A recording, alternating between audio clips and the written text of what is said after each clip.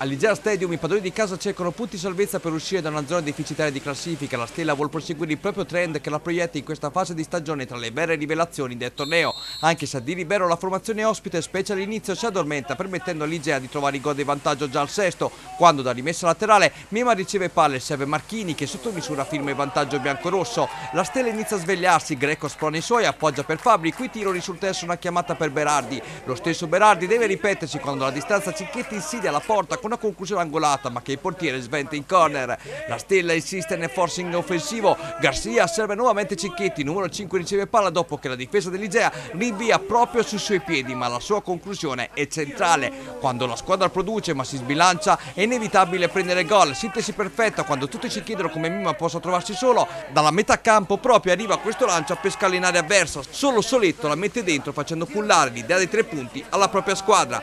Bocchini a questo punto sale di gran carriera, la sua sventola viene respinta in tuffo da Gamberini, ma sul più bello l'Igea subisce. Da calcio d'angolo Cicchetti riapre il match colpendo di testa perfettamente indirizzando il pallone alla sinistra di Berardi. 1-2 il parziale. La Stella a questo punto, prima della chiusura del primo tempo, inizia a credere nell'impresa. Il pallone viene alzato a campanile dopo essere stato messo al centro dell'area di rigore. Sulla sfera si getta Gabellini che di testa centra l'incrocio dei pali. Dall'altra parte Bocchini esegue copia in colla dell'azione precedente. Gamberini si fa trovare pronto.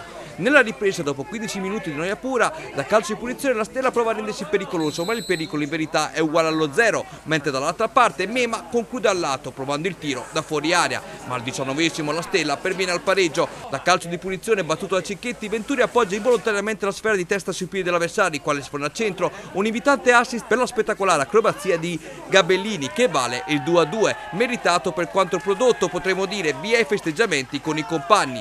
Ci prova a questo punto in due occasioni entrato in maglia numero 17 Gamberini per la Stella, ma niente da fare, entrambi i tentativi risultano centrali. A fotofinish la Stella rischia il sorpasso, da punizione di Cicchetti nasce una carambola fortunata che porta alla conclusione a botta sicura il numero 7 Gabellini, con il portiere di casa Berardi che si traveste da Mago Merlino facendo sparire il pallone prendendo ciò che in fisica è impossibile. Parata, salva, risultato. 2-2 il finale, ma il rammarico maggiore arriva dalla parte ospite. Per l'Igea buona la prima mezz'ora di gioco, poi i soliti difetti difetti e errori che stanno condizionando il proprio campionato, alla ricerca dunque della felicità perduta.